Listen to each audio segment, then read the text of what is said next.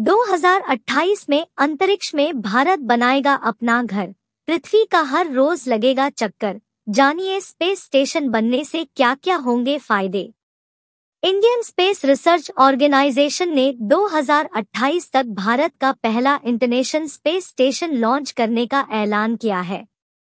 भारत ने पिछले डेढ़ दशक में स्पेस सेक्टर में बड़ी कामयाबी हासिल की है। चंद्रमा पर लैंडर उतारना हो या फिर मंगल ग्रह तक मिशन पहुंचाना या फिर ढेरों सैटेलाइट्स को अंतरिक्ष में भेजना। भारत ने हर साल स्पेस में बढ़त ही हासिल की है और अब उसका मकसद स्पेस में अपना घर यानी स्पेस स्टेशन बनाना है। इसरो अध्यक्ष एस. सोमनाथ ने बताया है कि स्पेस स्टेशन के शुरुआती मॉड्यूल को कब लॉन्च किया जाएगा। उन्होंने कहा है कि अगले पाँच सालों के भीतर यानी 2028 तक इंटरनेशनल स्पेस स्टेशन के हमारे शुरुआती मॉड्यूल को ऑर्बिट में पहुँचा दिया जाएगा।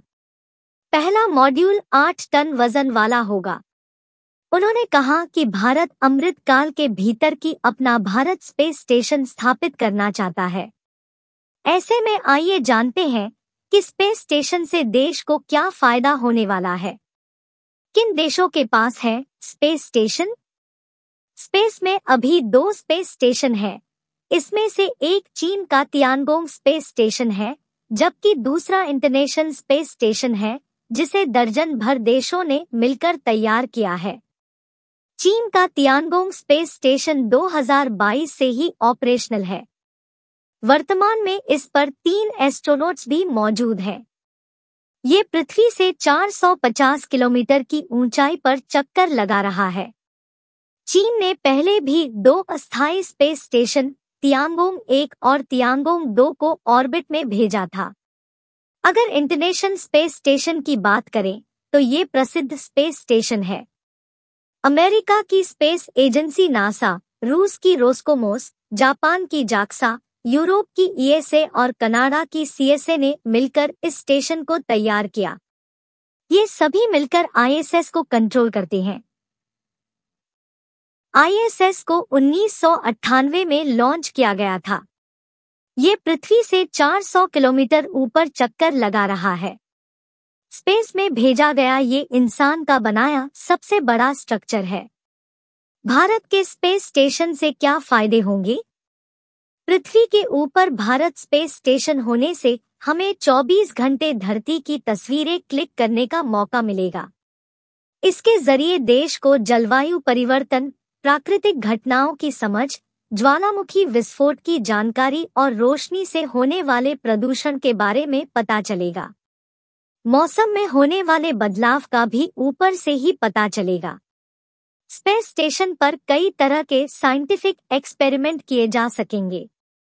माइक्रोब्स पर रिसर्च करना होगा या किसी बीमारी को स्पेस के वातावरण में समझना हो या फिर इंसानी शरीर किस तरह के काम करता है ये सब हमें स्पेस स्टेशन पर बेहतर ढंग से समझने में मदद मिलेगी। स्पेस में पौधे उगाने जैसे काम भी किए जाएँगे। स्पेस स्टेशन होने का एक बड़ा फ़ायदा ये होगा कि ये हमारी आने वाली पीढ़ियों को स्पेस सेक्टर में करियर बनाने के लिए प्रेरित करेगा। स्पेस स्टेशन में मौजूद एस्ट्रोनॉट्स भारतीय छात्रों से बात कर पाएँगे और उन्हें मोटिवेट कर पाएँगे। अंतरिक्ष में इसकी मौजूदगी वहाँ बढ़ती हमारी धाक को भी दिखाने का काम करेगी।